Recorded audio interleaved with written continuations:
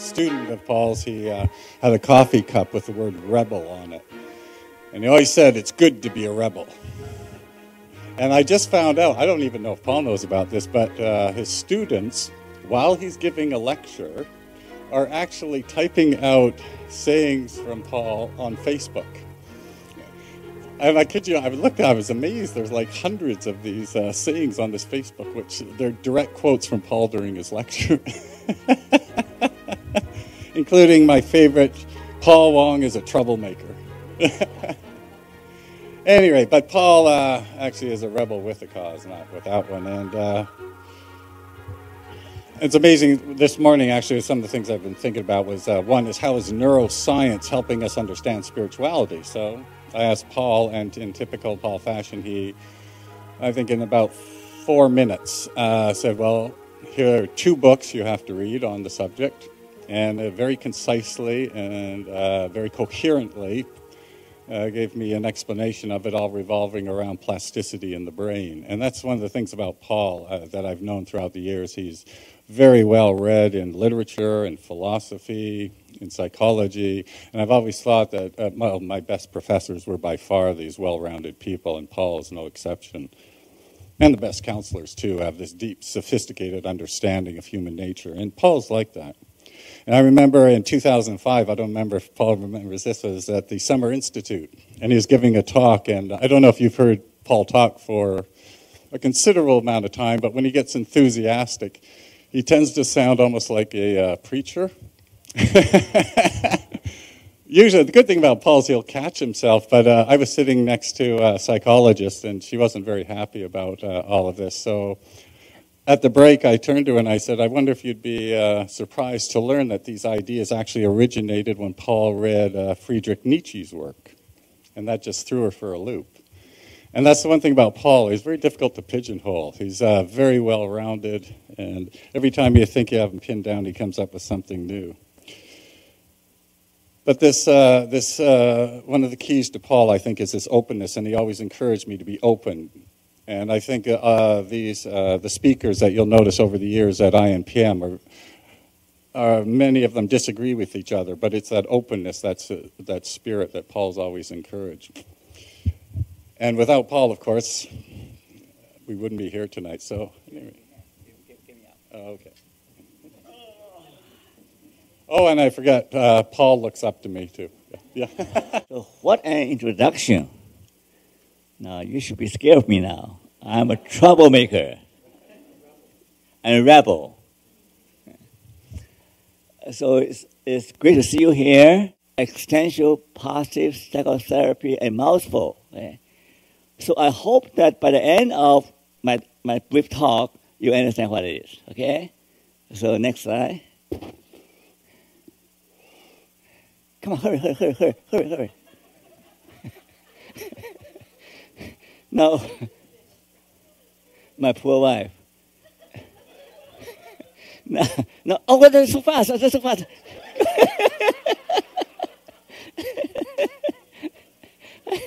no. Where, where is this place? What is this place? Oh, Hawaii. What do you think about Hawaii? Aloha. now, that's a place, it's called paradise on earth or something like that, right? Now, if you want to, to have relaxation or have romantic uh, holiday, you go Hawaii, right? Okay. Now, next. Now, that is... Uh, the beautiful campus of University of Hawaii at Hilo. It's not as big as the main uh, as the main campus, but the beautiful campus. Now I showed you a picture because about four years ago, uh, I was invited to, to, be the director of graduate program in quantum psychology there. Uh, so I went there about four years ago with my wife, and uh, I and uh, when I was there, the president and the dean told me why they want me to there. They, you know, we have lots of Hawaii natives, like Aboriginal, and there are severe problems of depression. Next one, see, depression, okay? and uh, other kind of alcoholic problem, alcohol problem, drug problems, violence.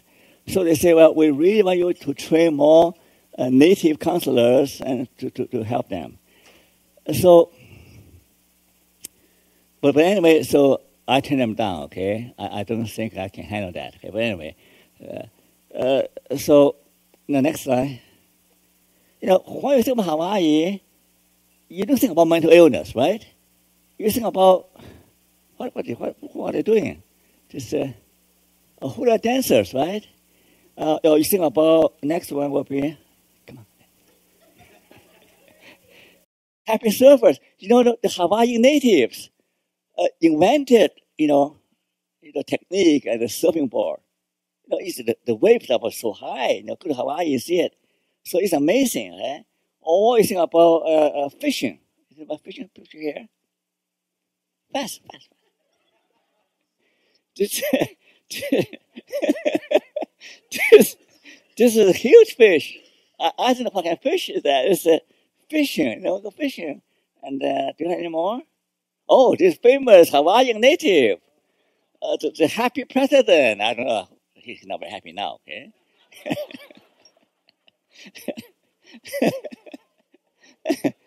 I, I came in trouble, you know. Well, anyway, next one. Okay. So now, now, now, where, where, where is the city? Oh, good. Must be New York. Yeah. Now, here's my question, okay? Hawaii, you know, beautiful beaches and the sunset and ocean and uh, you know, it's a beautiful place, really. You go there, you'll fall in love with the place. With people close to nature, you know, fishing, dancing, and uh, walking on the beach, singing romantic songs. And uh, what is it that there's so many people with mental illnesses? Do you know answer? Do you think they'll be better off uh, being living in the original state? Is it possible? Is it possible that civilization, progress, has reached a point that is no longer good for us? Is it possible? That because of this the urbanization, this the cultural uh, uh, competition, uh, this displacement, the breakdown of community, church, and family. You know, uh, so is it possible that many of the mental health problems, just like cancer, is a disease of the industrialized world? It's possible. Uh, next slide. Now think about those days. You know, I mean, this is, I, don't, I don't know how many thousands years ago, I don't know. Now, are these guys having fun? Sure, they're having fun. You know, they're chasing after animals. Sure, I like to be part of that party, you know. You know, it's, it's lots of fun, you know, like somebody will shoot an arrow, somebody will make noise. Uh, they, they work together as a team. They help each other. They celebrate when they make a catch. They help each other. They, they celebrate life together. So those are the good days. Those are good days. Okay. Next slide. Now, here's my friend, the wild man. you know, he's very good at what he's doing. Next slide. Ah, here's Paul McClure. This guy said, Oh, can you read the writing? Hunting and gathering isn't very profitable. Let's invent IPOs. That's where our trouble began, right? A simple life, close to nature, right? Healthy and simple and, and happy. And then people say, oh, we want to make things better. We want to have more progress and uh, and, and, better living condition and and TV and, uh, and BMW. She drives BMW, man. The little boy drives BMW. Imagine? But anyway, where does it end, right? There's no end to your material need. I think my, my, my friend uh, uh, Ed Diener, he's a very famous uh, psychologist. You know, at dinner, he said materialism is toxic. It's toxic, right? But people don't have enough of that. Right? Now, so that's the beginning of our trouble, right? Different civilization progress. So next slide. So now, what happened? Nowadays, young people do not have the opportunity, young boys and adolescents, boys, do not have opportunity to make use of the physical strength, you know, to, to put that strength to good use. So they do skateboarding, right? Spend hours, hours perfecting the skill. And for the next one, or play video game. You know, they're shooting the enemies, okay? Next slide, we're shooting the, uh, shooting animals. See? They live out a fantasy about this, making use of their, their, their strength and talent. Uh, ne- next slide. Now here, the geeks shall inherit the earth. No longer, no longer speed, no longer muscle, no longer power, but those guys with a good brain. Those guys rule the world. So it's, in a change. So what do I, what do we do with those people who, who do not have a brain for technology or science or making money? They're good artists. How many starving artists do we have? They're good writers. How many starving writers do we have? They're good in the physical ability, but who cares? Ski, skateboarding all day, all night. You know, you don't bring your money unless you're a champion. So competition, competition. Whenever competition, what, what happens? There are winners and losers. Guess what? Most of them will be losers. Do you want to live your life as a loser? Do you? You were miserable, right? You even though good in school, fired at a job, and your wife walk away from you, what do you do?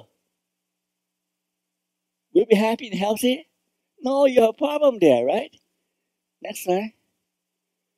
So we have depression, right? And, and what's what happened here? Shut out the world. Schizophrenia, right? People withdraw from reality, living in their own created imaginary world. Next slide.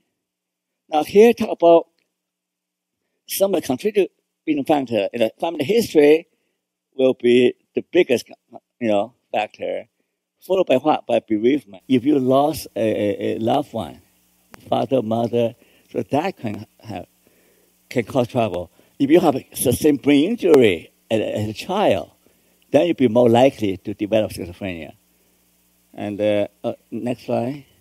Now, everything to do with brain, okay? And uh, there has some, some pathway being blocked.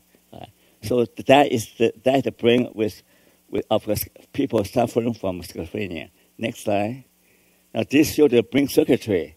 You know, how, how the dopamine will block, you know, dopamine uptake is, is diminished.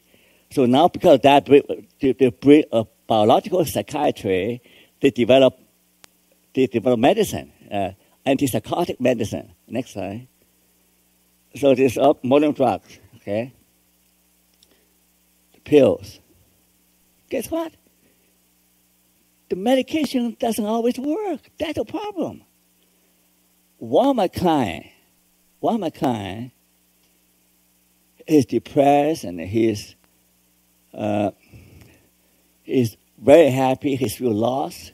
He was a successful artist, you know, eh, wealthy and very famous. What happened to him? 13 years ago, his beautiful wife, kind, beautiful, tender wife, developed schizophrenia and become a completely unbearable, nasty woman and talking to herself and he can no longer live with her. I mean, so negative of everything and so nasty. So finally, they have a divorce. But for 13 years, he was still grieving the pain, the pain of losing his wife. So I thought, I thought maybe he can cope better if his wife die, die of cancer, right? Now his wife is in no man's land, in and out. Are days she's Lucy and Claire. There are days she was out of it. So um, people do not realize that the psychic pain is just as real as physical pain. It's just as real. And people, families with loved ones suffer from mental illness, suffer a great deal. So he is seeking counseling and hopefully uh, she can cope with better. So, so the mental illness not only affect the patient, but also affect the loved one.